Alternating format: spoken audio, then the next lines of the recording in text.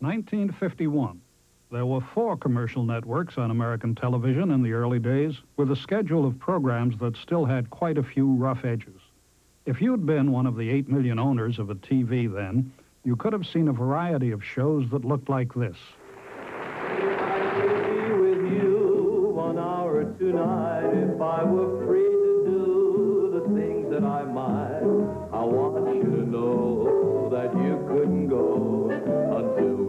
the curtain on our TV show. No matter what we look like, just remember this. I'm Ku Klux Klan. And I'm really all.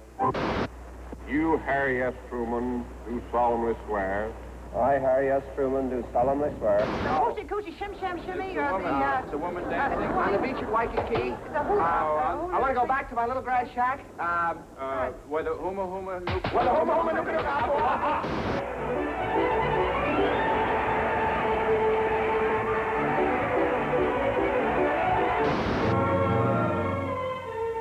Good evening. This is Ed Herlihy, speaking for the makers of Kraft Mayonnaise who bring you each week a fine play with a fine cast on the Kraft Television Theater.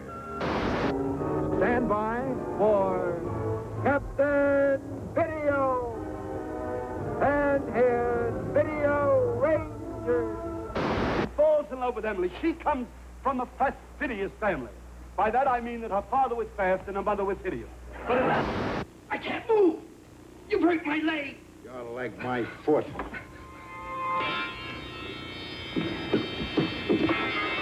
Nice work, cousin. Now we have a 41-year-old machine tool inspector from Worcester, Massachusetts. This, ladies and gentlemen, is Bill Walker and his musical saw.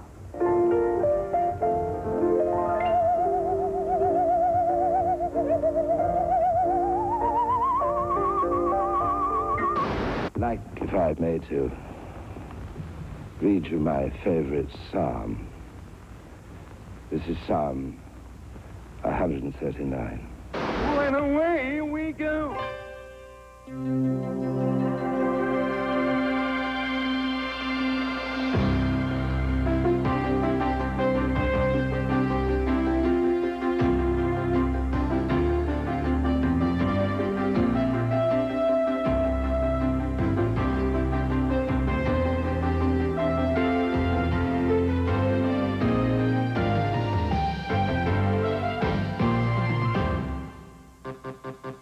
Television is funded by a major grant from MCI, offering fiber optic and digital technology for long-distance voice and data transmission.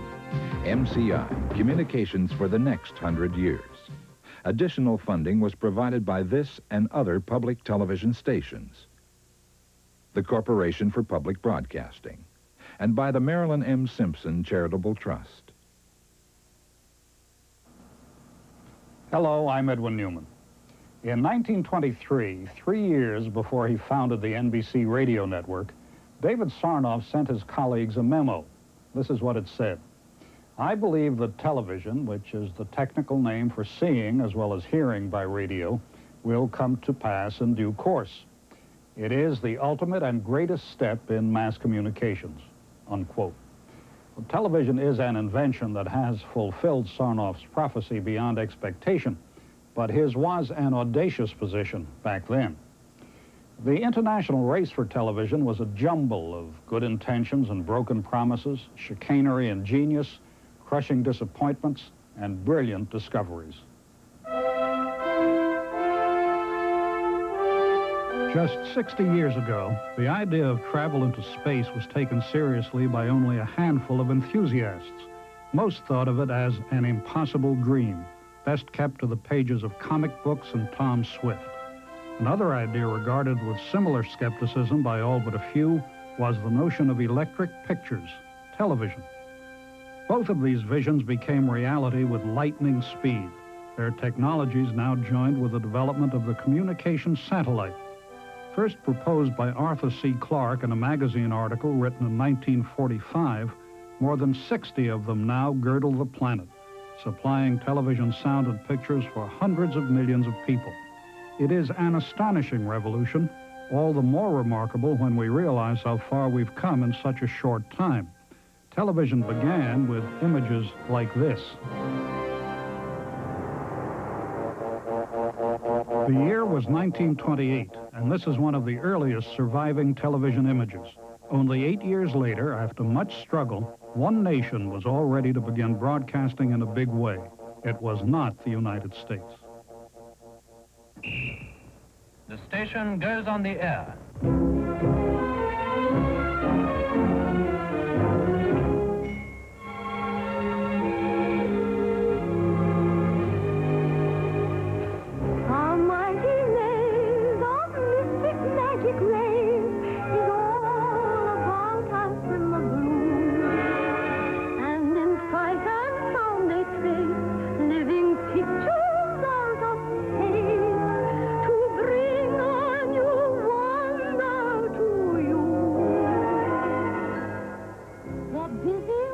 November 2nd, 1936.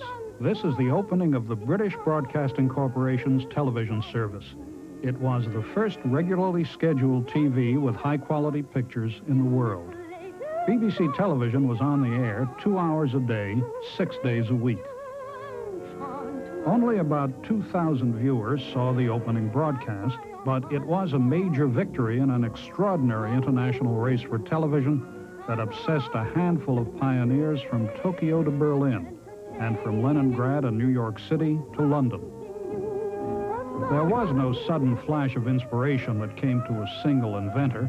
The development of television was a series of eureka moments, a natural progression in a world that had seen the birth of the telephone, radio, and motion pictures.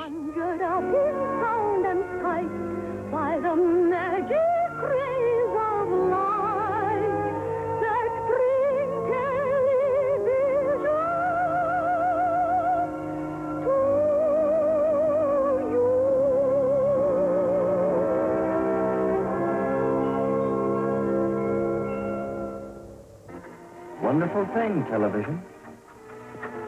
Television was born to a tiny audience, but from the very beginning, TV was a vigorous infant, full of show business energy and good old-fashioned schlock, a harbinger of things to come.